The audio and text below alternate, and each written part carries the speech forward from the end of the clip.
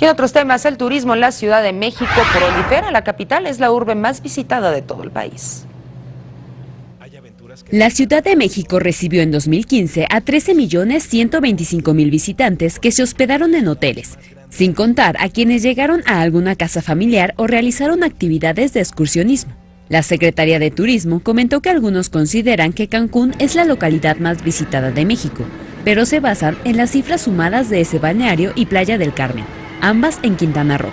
Sin embargo, como único destino, la Ciudad de México ocupa el primer lugar en cantidad de turistas que se quedan al menos una noche en la urbe, según datos de la Organización Mundial de Turismo.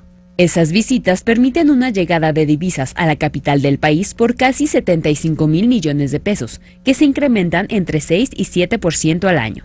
Ahora 2016 es excepcional porque se llegará a 1500, lo que quiere decir que la capital del país se ha convertido en una moda para invertir en hotelería. También se trabaja para atraer el turismo de convenciones, porque deja una mayor derrama de casi 1.250 dólares por encima del convencional, cuyo promedio es de 850 dólares por persona. La ciudad está en estándares positivos y no hay alerta alguna por inseguridad emitida por el gobierno de Estados Unidos.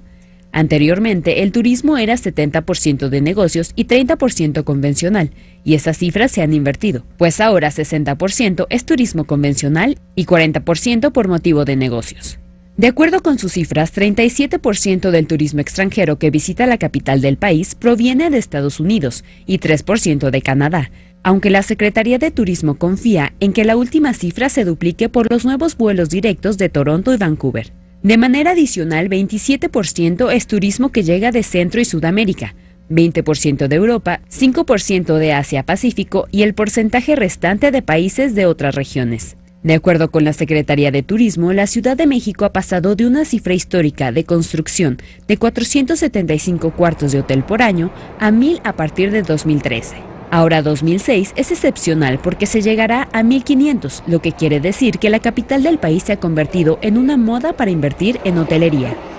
Excelsior Televisión.